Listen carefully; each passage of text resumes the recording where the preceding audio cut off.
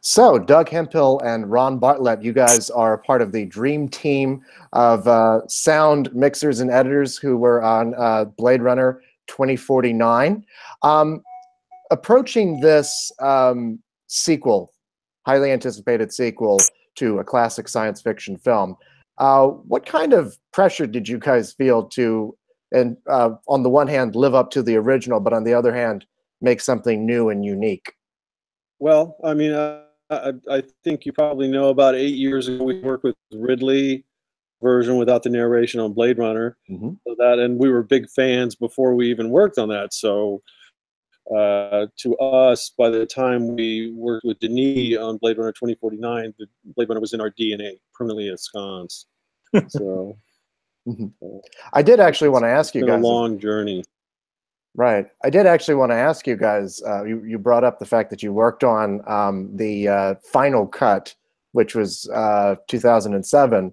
So, um, I mean, I guess it, it, it really has been. Uh, what, what were some of the experiences of working on that, and how did that inform your work on this one? Well, I'll just say, Ruben, uh, the best part of it was getting to work with Ridley Scott and hear stories of, of what it was like when he made Blade Runner, because we were right there on was just outside the stage, and he spent many a night uh, discussing the film with the producer under that water tower. So it was a it was a lot of fun because we're such fans. Great hearing his ideas and what you know his choices and seeing where he went with that and taking those thematic elements, moving it in in mind, uh, especially the music. I mean, the music was a huge deal, and that was also carried over. Yeah, as far as the things that made it really give a nod to the original. Mm-hmm. So I, I, often hear uh, from people. People ask, "So what is the difference between sound mixing and sound editing? Right? Why are there two different categories?" If you guys could explain a little bit of what it is that you do exactly on a movie like Blade Runner 2049, what are your specific roles uh, on a film Sorry. like this? Could you, you were cutting out. No, but I got the gist of the question. Um, I, I think it, that's a very good question, and in fact, what else did very much like audience members. You know, we go into a film and we look at the story. That's that's the most important thing, just thematically and whatnot. But we are essentially just like you. We come into a film, sit in this theater that looks like the theater you watch movies in, and say, how would we like this film to, you know, if this was our story? And obviously, we get a lot of direction as well. Mm-hmm. Yeah, I mean, the key is to really grasp what the director's vision of the film is and really expound on them and also help character development uh, overall mood the the arc of the film and get the emotion right and uh, really make the most out of each moment and the inner life of the characters as well we're trying to express that mm-hmm. through sound, depending on where they are. You know, and thematically, again, with Blade Runner, for Ron and myself, uh, themes like what does it mean to be a human being and what is an authentic person. And it's powerful. I mean, the story is really told through dialogue in almost every film, not all of them, uh, but uh, mainly uh, it's that. And we've a word getting the actors' intentions to really come through in the film, and uh, everything else is supportive in that moment. No dialogue, and you can fill it with music and sound effects and all that, and it's really great. But when there is dialogue, we, we really kind of And I have to say, uh, you know, in terms of a lot of people wonder what it's like to work with Ridley Scott or to work with Denis and uh, they're both so blindingly creative. Uh, it's it's just so they're such powerful creative people.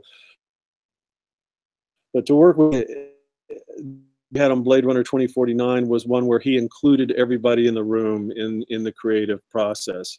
So that was uh, wonderful. Someone working with somebody like Denis who who really is uh, very inclusive. He won't compromise. He's you know he's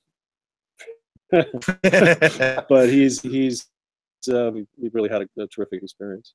Yeah, I love the the fact that he allows you to bring all of your creative horsepower to the film, or ideas as well, but he definitely keeps his vision in mind, and we obviously respect that, you know, over anything. But he's very inclusive, very collaborative, and, and uh, it was a great group of people that worked together to bring all of these great ideas into one solid thing for him. Going off of that, I mean, if you could talk a bit about what directives he gave you in terms of what he wanted. Uh, what were his initial notes to you guys, and, and how did that spark your ideas? I would let Ron answer that question, but I'll preface it by saying that Denis is obviously a very, very smart man. So when you show uh, like him, he's he's not necessarily going to explain anything to you because you know you're, you're bright, you're going to get it and figure it out. Mm-hmm. Uh, and I like that because doing that he makes you bring yourself to the project to bring your own heart to the to the story in the film. And i, I really uh, was impressed. Yeah i mean he does like to see where thing and then if you go in a different direction he'll tell you. But um, generally i mean we were all pretty much on the same page.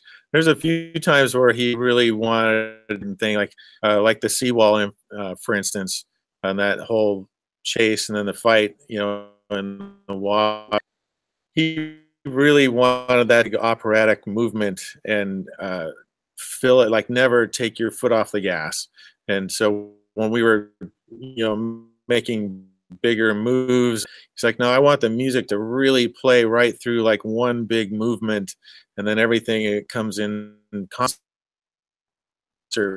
with that piece of action that that gives you a real through throughput, a thread through that whole scene. Uh, and it pays off in the end when it comes to the light snow at the end. And of course, in that same sequence, um, here's a really good piece of direction from Denis. I've told this story before. I apologize, but it's, it's, it's saying to Deckard, you know, at the seawall, it's over. They've they've uh, you know gone to the shore, and uh, Case and uh, Denis said to me, uh, Doug, it sounds a little bit too much like Blue Lagoon.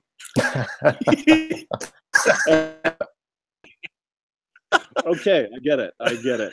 And so I went back to more the dystop. I was trying to protect the dialogue, but I went back to more of a dystopian sort of environment of Blade Runner, more grit.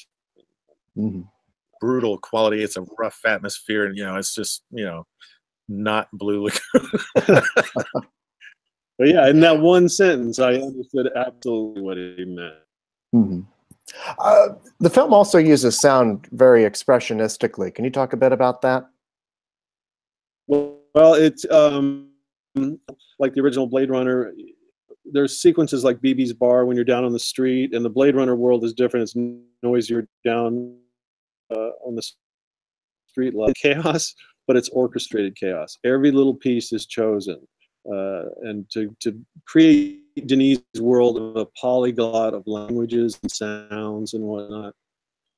Yeah, there was a lot of very, you know, tons of billboards and ads and uh, train announcer and the vending machines going on, and uh, but it was very specific about which thing you heard when and how they overlapped, where they moved in the space. Uh, but the, the whole, whole idea uh, it's very chaotic, very oppressive, and just not a very fun place to be. And as you you went up in levels, ultimately on a roof or in Wallace, when he's way up top like that, it's very peaceful and calming. And we had that, that uh, slow chant. Uh, you know, the rain was very beautiful. So it was a very, you know, thoughtful idea of saying, you know, it's the most oppressive down at the bottom and and just to be clear, you know, none of this is preordained. No matter how much you think about stuff in advance, it's not painting by the numbers. When you get on a dub, stage with the with, I think it's maybe 12 people maximum in the dub stage, it just changes. You start improvising, you start doing things differently. And a good example uh, in the music cue there that uh, mix, that was quite an, a voyage of discovery. Yeah, that uh, did not start out that way at all. It was a big music cue that Carrie walks into the casino. Um, mm. As we uh, first played all the tracks, you know, the idea was to overbuild, have a lot of choices and different elements, and, and Hans and Ben did such a wonderful job of that. Um, Denis was very specific about the sounds he liked, he liked, and he wasn't a fan of more the, the more modern synths. Uh, so we would end up taking out some of those, and he loved the CS80 Yamaha. Much the sound of the original Blade Runner, uh, but in that particular cue, he kept paring it down, kind of searching for something. It wasn't that the cue was bad, but he kept taking out tracks, take that out. Yeah, that one's great, but not in my movie. I, I love that sound, just not in this right here. So I'd take uh, Denis. I've only got the big bass drum hits that that I recorded for you know they were as nod to the original Blade Runner. Played that scene with just those. Bang! It would hit you know a huge, and then it goes down to like a very small light air and some steps and it was and everyone's like oh man. And that's where you are an audience member and you sit back and watch and go that's really cool. It's yeah. so much fun to sit there and create stuff on the our giant uh, etch a sketch. Yeah right. Yeah. um oh, uh can you talk about? I mean, you, kind of mentioned this before, um, but I wanted to kind of dig into this a little bit more. Um, how you create a good, clean soundtrack, a good, balanced soundtrack when you have to have dialogue and music and sound effects and all this stuff working together. I mean, can you talk a bit about how you balance all that out? Well, referred to as clear density. It's a Walter Murch term where you have things going on, but you can hear through them. Hmm. Um, you know, and, and it's you may want to pick dramatically what the best thing to do is. Like I may get out of sound effects completely when we're up in the spinner over the city going into LA. It may just be music. Uh, play what is telling the story. But that's the key line right there is you, you really zero in on what tells the story, uh, what follows the throughput of the characters and where the actors are going uh, and you have to get rid of other things you know, sometimes. For them and letting things speak and other times is get rid of it if it's in the way.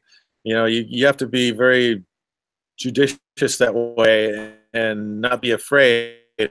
I will say about denis is he is not afraid to be bold. He'll go there and he wants you to go there and it's just fantastic to work with someone like that choices like that. Mm-hmm. Um, you guys both received an Oscar nomination for this film. Uh, it's not your first time at the Oscars, Doug. You're actually a former Oscar winner, and uh, you're not. No, it's not the first time. No. Yes, I'm sorry. I thought you said, I thought you said no. I never. uh, but yes, you have both uh, I was like looking at my notes here. Wait a second. Um, so, uh, and Ron, you are a previous nominee as well. Can you guys talk a bit about what that recognition has meant to you in your career? Uh, sorry, say that again. Can you talk about what that recognition has meant for you in your career, um, and also recognition for this film as well?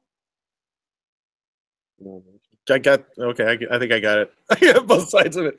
Uh, it's always fantastic honor to be recognized by your peers and by the academy like that. Uh, it means a lot, you know, because it you, you try really hard through your whole you get something like that, all the better. But uh, I'm never trying to chase, you know, a, a gold statue. I think it's really great and all that, but I want people to move by what I do and the artist artistry that we put into things. Uh, that's what really gets me going and I love that. It's a fantastic honor, the outpouring of people that give you congratulations and all that. It's overwhelming. It really is. Well, yeah, I, I agree. I'll tell you a corny story.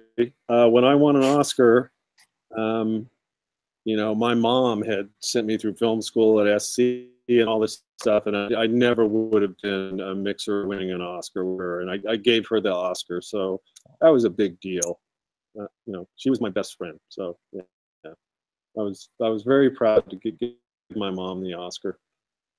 I'm glad you were able to do that, uh, gentlemen. Thank you so much, and uh, congratulations on your work. Uh, it's a wonderful movie, thank and thank you. you for taking the time to talk.